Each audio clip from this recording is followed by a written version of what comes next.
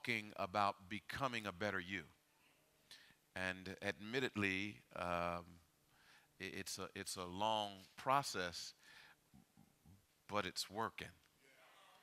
Um, I, I'm, I, I got to speak for myself, testimony. I'm not where I should be, and I know some of you out there as pastor think I should be perfect, um, but you don't have a perfect pastor. Just ask my wife. Um, but uh, the beauty of it is I'm not what I used to be. And uh, every day the Lord is uh, working on me and doing something. So I see it working. Now, while that's my testimony, that can be yours also. Uh, that you see the Lord doing some things in your life, uh, showing you that He is at work. big old sign on the front of you that says, under construction. And, uh, and that God is continually working on you. So, we've been talking about becoming a better you. And uh, we've been talking about uh, having revival. And uh, again, I want to reiterate for some of you that to have revival does not mean to shout, run, and, and, and just act a fool for Christ. That comes after the revival. That doesn't bring the revival. So there's some other things that have to occur when revival's to come. And we've been looking at the book of Joshua preparing for the revival. And last week we talked about how we move from the wilderness to the promised land. And so I want to finish that discussion because uh, there was a couple of protocols that we, spiritual protocols that we recognize, but there's a lot more in here that we need to understand in order to move to the place where God would have us to be. So turn with me to Joshua chapter 3. Joshua chapter 3, and we're going to begin our reading at verse number 1. Uh, Joshua chapter 3, verse number 1.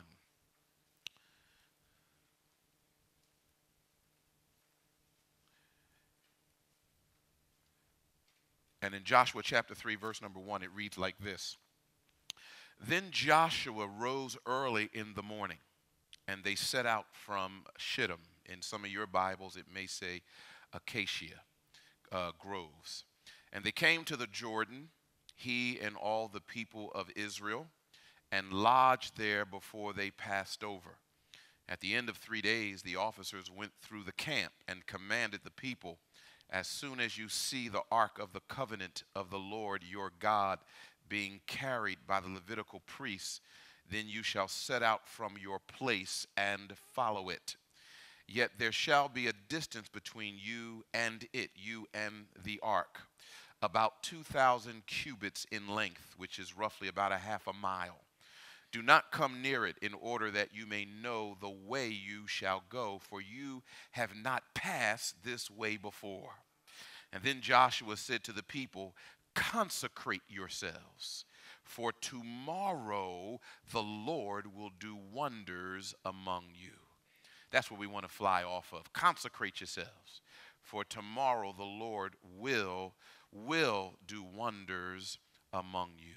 May the Lord bless the reading and the hearing of his word. I want to talk uh, today for a few moments from the thought the choice of a new generation. The choice of a new generation. Um, everybody makes choices from the time they get up in the morning till the time they go to bed, there's some choice that they've made during the day. People are defined by the choices they make and the consequences of those choices. There's no such thing as a non choice. When you say, I have no other choice, that becomes your choice. And so people make choices all the time. Choice can be defined as a selection or an option, a decision or a preference. Matter of fact, I'm discovering that choices we've made at, as children uh, have shaped what we are today as adults choices are important in order for us to move in a right direction. While the Jewish people despised the wilderness, as we talked about last week, and as they desired the promised land, despising and desiring is not enough. The new generation of Israelites stood on the precipice of a God given choice. Remaining in nomadic slavery, wandering aimlessly, not knowing where they were going, and eventually dying in the wilderness, or the choice was to follow godly leadership that was in Joshua, who was taking them into the promised land. This new generation had a choice. And while I illustrated last week, if you remember, I said that while they were despising the wilderness, what helped them to despise the wilderness and to desire the, the promised land is that they stood on the banks of the wilderness and could see, if you will, the grapes and the pomegranates and the milk and the honey. I, I want to clarify because actually they never saw the promised land. They wandered aimlessly for, for 38 years, total of 40, but aimlessly in the wilderness. And the truth of the matter is, this new generation of Israelites never saw the promised land. And it blew my mind because while they never saw the promised land, they desired the promised land.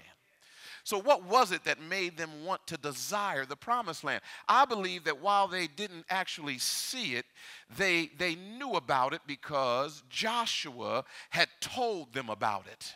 He had described to them what the promised land looked like. And they could so see it vividly in their minds that I believe when they stood on the edge of the wilderness, they almost saw a mirage because they had a picturesque idea of what the promised land looked to them. Uh, I, I, thought that was a little outlandish until I remembered a movie that I saw back in 1996. I know some of you weren't born, but back in 1996, there was a movie out, great movie called A Time to Kill. And it was a movie with uh, Samuel L. Jackson. Actually, Samuel L. Jackson's in every movie, but this was a movie with Samuel L. Jackson, and it was about a, uh, a, farmer, a migrant worker whose daughter was uh, assaulted by two uh, white racists, supremacists. And uh, they sodomized her, they brutalized her. And when they went to court, the, of course, it was in the South, so the jury uh, let the men go. But Samuel Jackson took action into his own hands and killed the two men. So now he was on trial. And here, this black man uh, sticking up for his daughter was on trial in front of an all white jury. And he had a white uh, attorney who was fighting for him, and the, the uh, trial was not going well. Matter of fact, uh, Samuel, his character was as good as dead. They were going to lynch him, they were going to kill him for what he did. But in the final moments of the movie, his lawyer, who was uh, Matthew McConaughey, got up and he gave a closing argument. And in the closing argument, he told the white jury, he said, I, I, really fought for this man, and, and I don't think I'm going to win, and, and I just believe he's going to die. He said, But before that happens, I want you to do something for me. He says, Close your eyes. And they closed their eyes. And he said, Now I want you to visualize a young girl who is walking home from school and who is picked up by two men and thrown in a truck and brutalized and sodomized and then urinated on and then thrown in a river and then they tried to hang her but the branch couldn't support her. So she dropped and lived but they beat her some more and then for fun threw beer cans at her. He was painting a picture of what went on with samuel l. Jackson's daughter and then after he finished it, he said, Do you see it? Do you see her? Can you visualize it? Now, visualize that she's a white girl. He allowed them without seeing to see. And I won't tell you the end of the story, I just gave it away, but they acquitted Samuel L. Jackson for what he did. The point is this that I believe the nation of Israel stood on the bank of that wilderness, not ever seeing it, but visualizing it in their minds of what the promised land was like. And that visualization caused them to despise where they were. and desire where they were going. Saints, I just believe that God wants us to go someplace. I, I, I, don't see it. I don't know what it's going to look like, but I do know what it's going to look like because eyes have not seen and ears have not heard. Neither has it entered into the hearts of men what God has prepared, but I know it's coming. And it's that visual that I see that makes me despise this life and want what God has for me. Are you with me here? And so seeing is not always with your eyes. Here's what they had to do they had to trust God.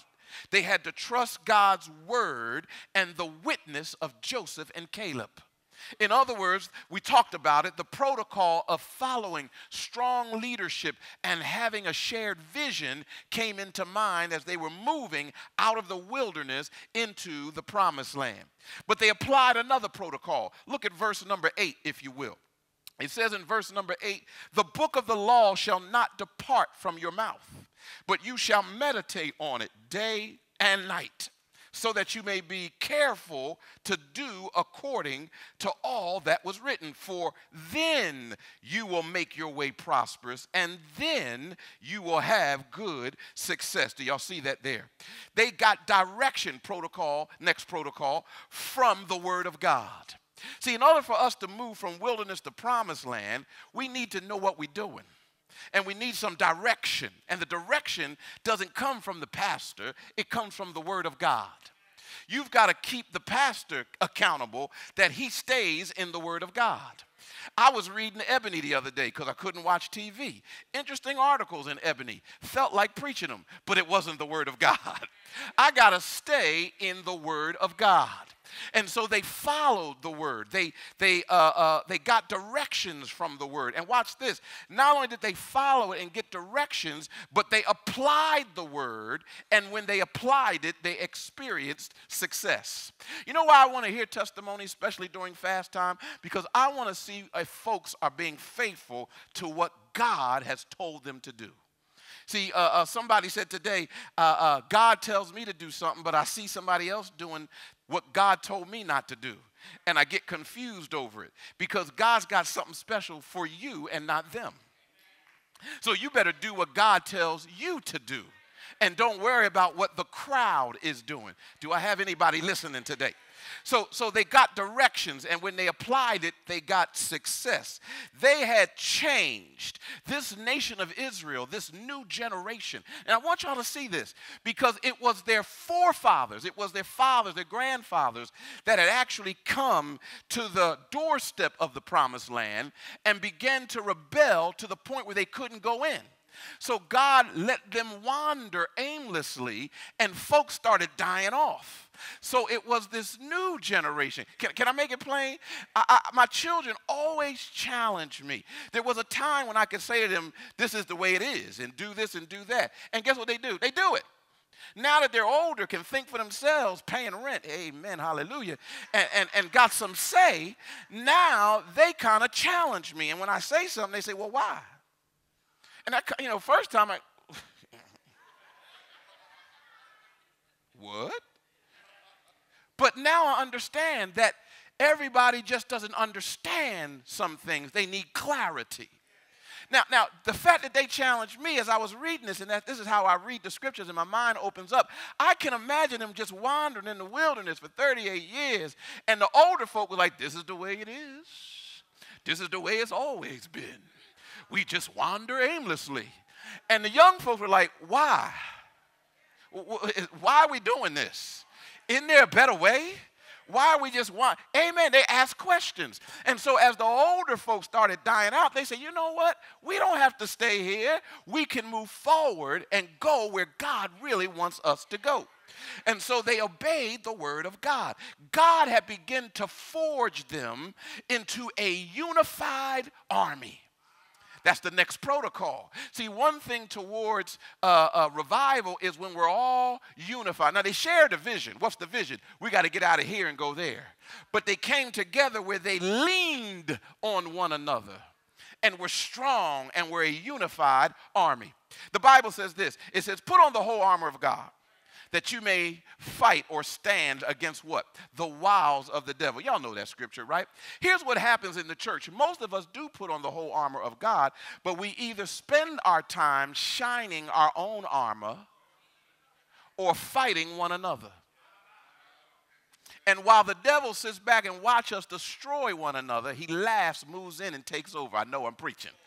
That's why we have to become a unified front a unified army. They became a unified army that would not be denied victory. Listen, I'm not going to give up. I'm not going to let every obstacle get in my way. I'm not going to allow things to deter me from where God wants me to go. Some of us carry feelings too easily. Did I say that right? We catch feelings too easily. Amen. Somebody say something I don't like. Pastor said something. He, he, he offended me. I don't know you. I, am not following you around. I, I ain't got time for that. Ain't nobody got time for that. Amen. I slipped that in. That's the Holy Ghost talking. And if you're offended, that means he's stepping on your feet, not the pastor. See, but we can't just take our ball and go home. We got to stand as a unified arm. Are y'all with me here? But then notice this, notice this, that not only uh, did they get direction from the Word of God, but verses 10 through 11 says they got a God ordained human authority. They, they were obedient to authority. Look at the text, verse 10 and 11. It says, Then Joshua commanded the officers of the people pass through the midst of the camp and command the people, prepare your provisions. For within three days you are to pass over this Jordan to go in to take possession of the land that the Lord your God, here it is, is giving you to possess. Do y'all see that there? Notice what happens. He says, I'm giving you the land. It's going to occur in three days, but here's what you got to do you got to prepare for it. Now, now it blew my mind. I looked at that and I kind of studied it and, and, and, looked at the, the, the word prepare. And, and what it really brought out was this that God wants to give all of us something, but you just ain't ready for it. See, we want to be blessed and God wants to bless you, but we don't want to put in the preparatory work to be blessed. There's some things that if God gave it to you right now, you couldn't handle it. Amen. Songwriter said, There's some things that God is doing that I can't handle right now. Amen. Are y'all with me here? But but if God would prepare me, if I would prepare myself to receive it, then things would be better. So here he tells the nation, he says, listen, you first of all, you gotta be obedient to God ordained authority. In, in other words, they were quick to adhere to the commands that Joshua gave. In other words, he said, get yourself together and let's move forward. See, in order for us to move forward, you got to get yourself together. Isn't that an old song? Got myself together. Yeah, okay, see ya. I'm just seeing if you're awake out there, that's all. He says we've got to obey. We've got to understand what God wants us to do and begin to prepare for the next move. You know why we're not moving forward? Because we're not preparing for the next move. We move one place, become satisfied, complacent. And I use this term and begin to vacillate there and stay there. And usually when you stay, you get stuck. I'm not satisfied where I am. Glad I'm here, but I'm looking for the next move. I'm looking for the next level of God. That's higher heights and deeper depths in the Lord. Are y'all with me here? Now, notice this. I want to show you something. I don't think I have this in my notes, but I want to show you this. Look at verse 14. It says, Your wives, your little ones, and your livestock shall remain in the land that Moses gave you beyond the Jordan. But all the men of valor among you shall pass over armed before your brothers and shall help them. I read that. I like that because here's what it really says it says, We're preparing to cross, we're preparing to move. But there are those, watch this, that are already prepared. So here's what they're going to do they're going to go first not for the purpose that because they're prepared, that gives them the privilege of going first. No, their reasoning for going first is so they can help those who are lacking. Somebody didn't hear that. You know why you so blessed? So you can be a blessing. The reason God anoints your coffers with coins is so you can bless somebody who don't have coins. Oh, I know I'm preaching now. See, God didn't give you that raise so you can go out now and buy a bigger car or a new entertainment system. God gave that to you so you could be blessed. No, y'all didn't. So you can be a blessing. Still ain't caught it. Uh, uh, I shared this with the men the other day, so let me be very transparent. I'll try to share it very quick. My wife and I got away, and we got away at a, a, a resort. And of course, because we were at a resort, we had to take the tour. Some of y'all gonna catch this on the way home. And the tour is only gonna take 90 minutes, but ended up being three hours okay? But see what we did for three hours because they offered us money, of course. So we said, we're going to take all this for three hours because we're going to get some money. Well, long story short, they, they got us. They just got us. They got us. You know what that means. We got, we got got. Amen. And, and our plan going in was we ain't buying nothing. We ain't buying nothing. We ain't got no money. We ain't buying nothing. We ain't touching nothing. We ain't going nothing. We don't care what they say. They can offer the moon. We ain't buying nothing. They got us. My wife and I went out to dinner afterwards. We looked at each other. We said, What did we do? I said, I don't know. I don't know. That wasn't the plan. That night we went home, we slept, woke up the next day. I got on the bike, I was riding for an hour, couldn't turn the TV on, so I just started praying and thinking. And the Lord said, All that money you just bought, you could bless somebody. I, watch that's what he said. I'm, I'm being transparent. He said, I got you out of debt to be a blessing, not to go back in. I was on the bike, I was riding, I was sweating. It was long, I couldn't watch TV, so I had to watch the clock. And I started crying and I said, Lord, how am I going to get out of this? And I heard in clear as day, quiet, no TV. Read the contract. So I read the contract, and sure enough, there it was. You got till January 18th to get out of this thing.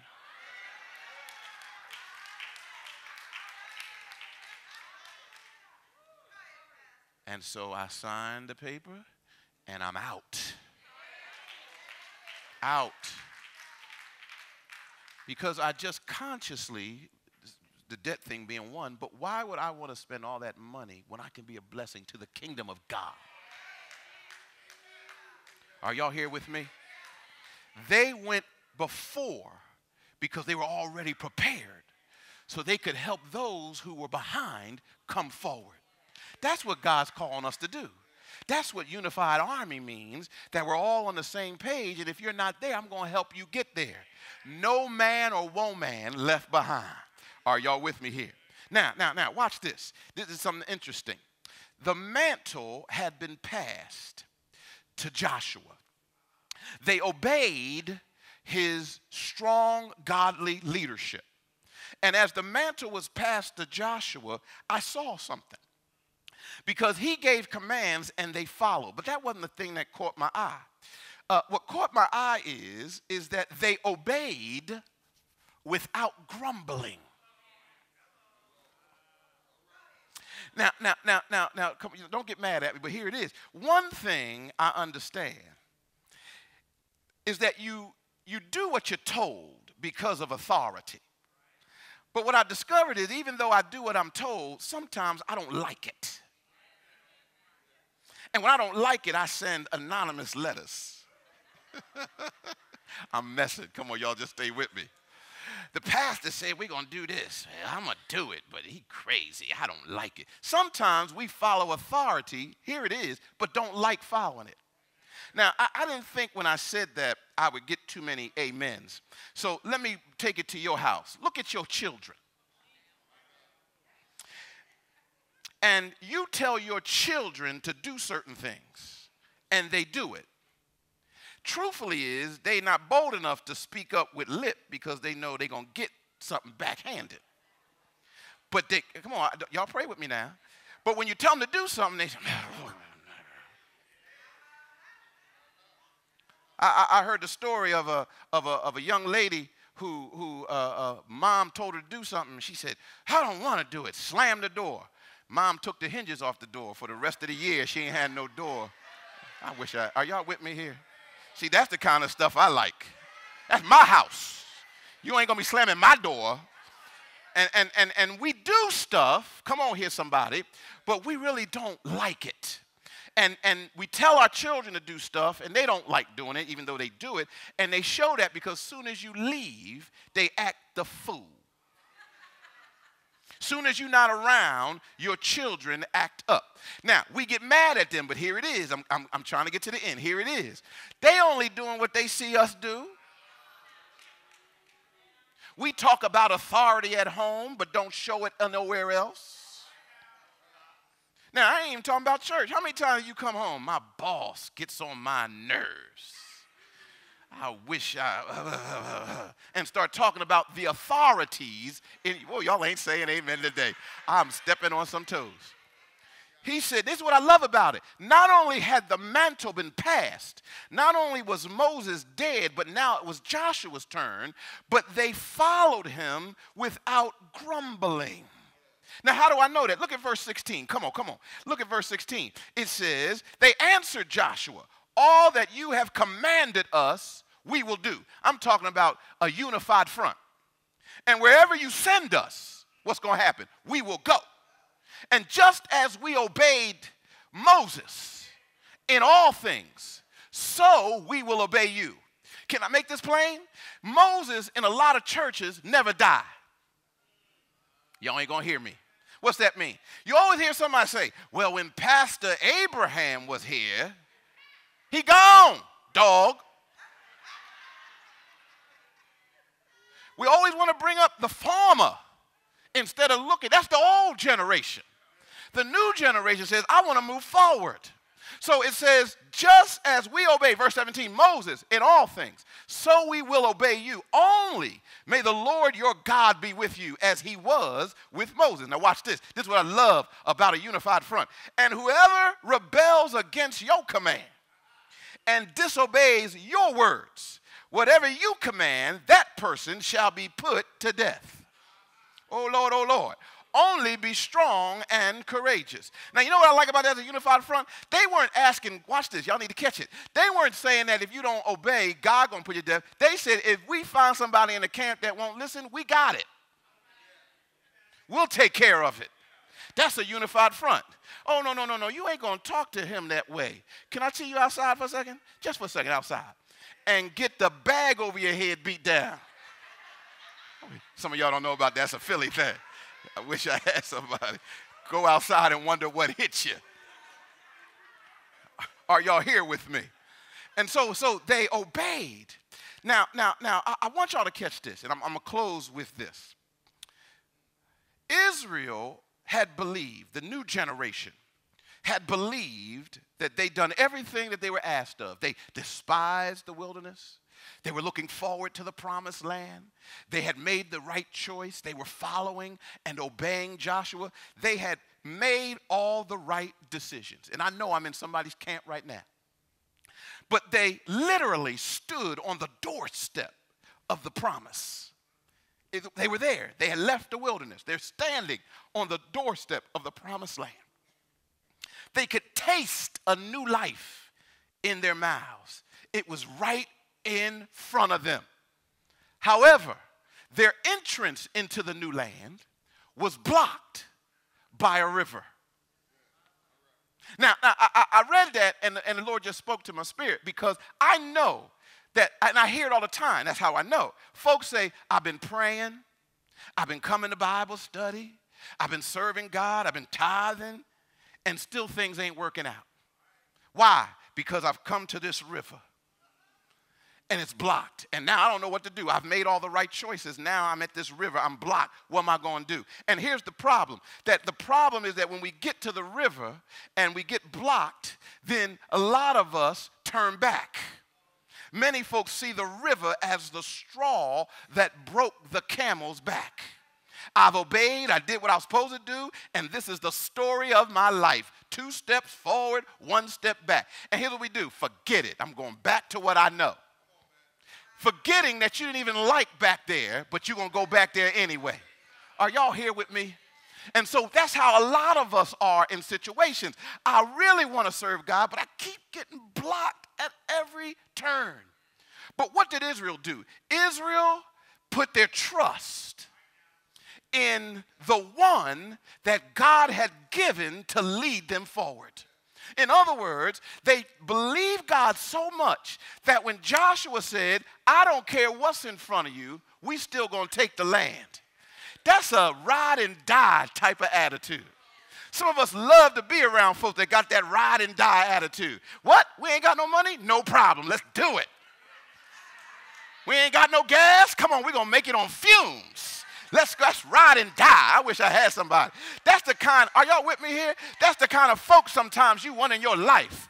That when things look bleak, when things look dark, you want somebody to encourage you and say, look, don't give up. We can do this. I got a couple dollars. How much you got? I got 50 cents. That'll add up. Come on. we going to make this thing happening no matter what I see.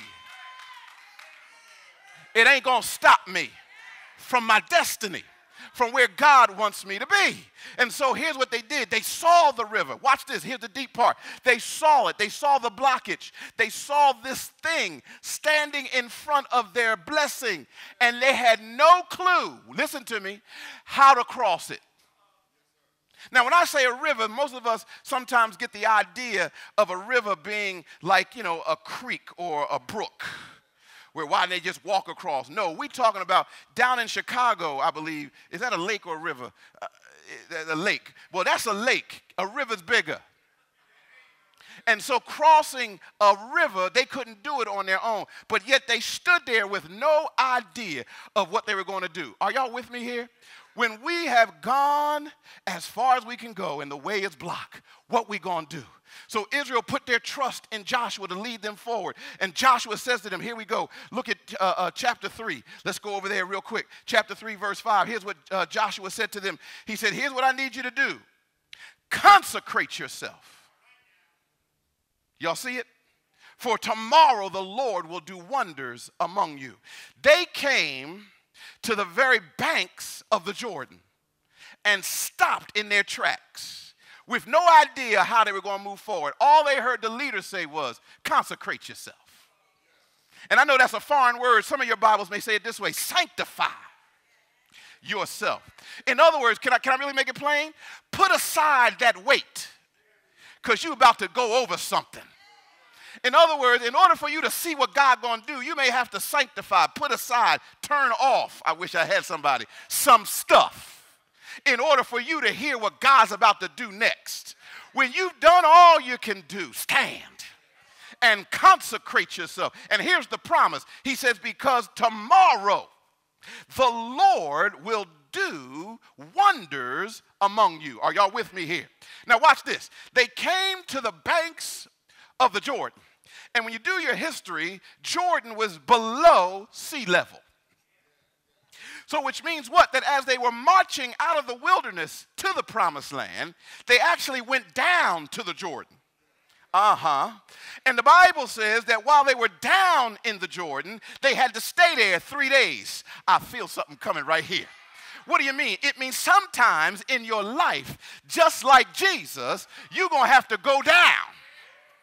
But in three days, you're going to come up and you're going to watch what the Lord is going to do with you. Are y'all praying here with me? Now, notice this, it gets better. Notice he says in verse number one of three Then Joshua rose early in the morning and they set out from Shittim and they came to the Jordan, he and all the people of Israel, and lodged there before they passed over. And at the end of the three days, the officers went through the camp and commanded the people that as soon as you see the ark of the covenant of the Lord your God being carried, follow it. In other words, when the word moves, you move. Just like that. When the word gets up, you get up. Just like that. You follow the word, and the word is going to take you over obstacles. Y'all still ain't caught it. Watch this. They were facing an obstacle called the Jordan River. Now, I want to show you something. This is deep. I told you this was the choice of a new generation. Which means what? They had never seen the promised land, they had never seen the old land. Meaning what? Here it is that when they came out of Egypt, y'all remember, and they came to the Red Sea. And there was also an obstacle that was barring them from going forward. They didn't know what to do there either. They didn't know how they were going to cross there either. But I heard Moses say, Stand still and see the salvation of your Lord. Now, watch this, watch this. So they stood there and watched as God, through the raising of the staff, where the waters rolled up, and they watched what God did. And after he rolled the water back, they were able to walk through on dry land. Are y'all with me here? But that was the old generation. We're talking about the choice of a new generation.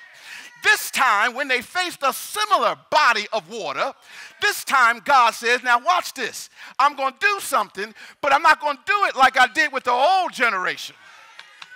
See, they stood there and watched something happen. With you, I need you to step out and make something happen. Y'all ain't going to pray with me. And so the Bible says that when the word of God, which was housed in the Ark of the Covenant, stood up, watch this, they had to follow the Levitical priests, but they started to stay a half a mile back. And watch this, the waters did not flip up and dry up while they were standing there.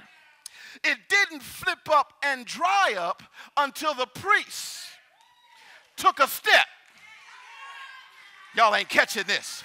They had to take a step into the water, which means what? When you've gone as far as you can go and the way is blocked and you don't know which way to turn, you got to trust Jesus to do something wonderful in your life. Consecration means to set yourself apart, to set yourself down, and turn it completely over to God. Are y'all with me here? Y'all still ain't caught it. The old generation stood on the banks and watched God move. The new generation had to step in and watch God move.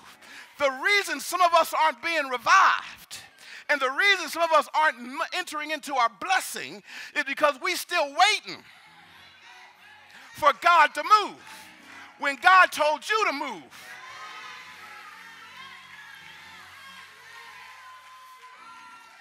Now, now, come on, I gotta close. Here it is. Now, I'm not preaching that name it, claim it. You take one step, he take two. That's not what I'm talking about.